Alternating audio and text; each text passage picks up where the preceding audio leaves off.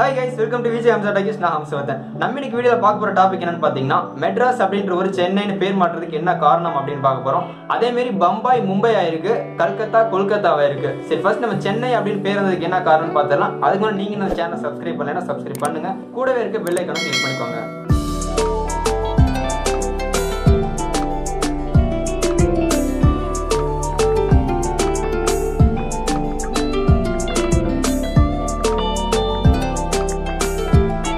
தமிழ்நாட்டோட தலைநகரம் சென்னை அப்படின்றதும் வரலாற்று சிறப்புமிக்க நகரம் அப்படின்றது நமக்கு எல்லாத்துக்குமே தெரிஞ்ச ஒரு விஷயம் தான் மதராஸ் அப்படின்ற ஊரை மெட்ராஸ் அப்படின்னு பிற மொழிகள்ல எழுதியிருக்காங்க. அதனால சென்னை நகரத்தை சென்னை அப்படின்னு ஒரே பேர் மட்டும் தான் யூஸ் பண்ணும் அப்படின்னு தமிழக அரசு முடிவு பண்றாங்க. சென்னை அப்படின்ற பேரை ஜூலை செவன்டீன் நைன்டீன் நைன்டி சிக்ஸ்ல அன்றைய முதல்வர் வந்து பாத்தீங்கன்னா சட்டசபையில் அறிவிக்கிறாரு.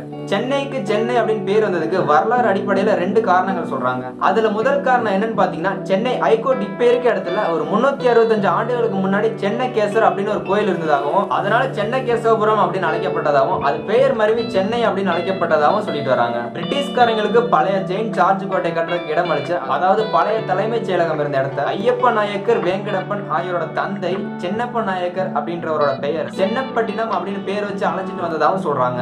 எல்லா மொழியிலையுமே மதராஸ் அப்படின்ற ஒரு சென்னை அப்படின்னு மட்டும்தான் அழைக்கணும் அப்படின்னு சொல்லிட்டு தமிழக அரசு அறிவிச்ச அறிக்கையை பல தரப்பினரும் வரவேற்றிருக்காங்க. அந்த சமயத்துல அமைச்சர் அந்த தமிழ் குடிமகன் என்ன சொல்றாரு அப்படின்னா சென்னப்பட்டினம் என்பதன் சுருக்கம் தான் சென்னை. சென்னை. தமிழக முதலமைச்சர் சென்னை என்ற பெயரை எல்லா மொழிகளிலும் வழங்க வேண்டும் என்று அறிவித்திருப்பது வரவேற்கத்தக்கது அப்படின்னு சொல்லிட்டு தமிழ் குடிமகன் சொல்றாரு. பல நெடுமாறன் குமரி ஆனந்தன் அப்படின்னு பல அரசியல் தலைவர்களும் மெட்ராஸ் அப்படின்ற ஒரு சென்னை அப்படின்னு எல்லா மொழியிலையுமே வந்து அழைக்கப்படணும் அப்படின்ற கருத்தை வரவேற்கத்தக்கது அப்படின்னு சொல்லிட்டு எல்லாருமே சொல்லியிருக்காங்க. இப்படிதான் வந்து பாத்தீங்கன்னா மதராஸ்க்கு சென்னை அப்படின்ற பேர் சூட்டப்பட்டிருக்கு. நெக்ஸ்ட் நம்ம பம்பாய் எப்படி மும்பைன்னு மாறிச்சுன்னு பார்க்கலாம். இந்தியாவில் முக்கியமா நாலு நகரம் அப்படின்னு எடுத்துக்கிட்டோம்னா பம்பாய் அப்படின்றது கண்டிப்பா இருக்கும். அப்படிப்பட்ட பம்பாயை தான் மும்பை அப்படின்னு பேர் மாட்டிருக்காங்க மே நாலு ஆயிரத்தி ஆயிரத்தி தொள்ளாயிரத்தி தொண்ணூத்தி அஞ்சுல நடைபெற்ற மராட்டிய மந்திரி சபை கூட்டத்துல பம்பாய் அப்படின்ற பேர் மும்பை அப்படின்னு பேர் மாற்றுறதுக்கு முடிவு பண்றாங்க.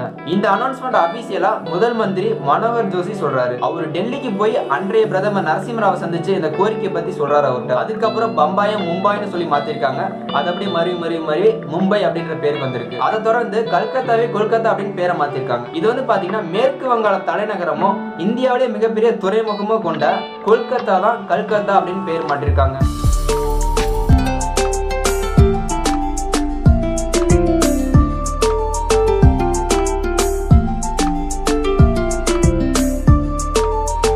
இந்த மாதிரி ட்ரெண்டிங் அண்ட் இன்ட்ரெஸ்டிங் வீடியோஸ் பார்க்கணும்னு நினச்சிங்கன்னா நம்மளோட சேனல் வீடியோஸை தொடர்ந்து பாருங்க. தேங்க்யூ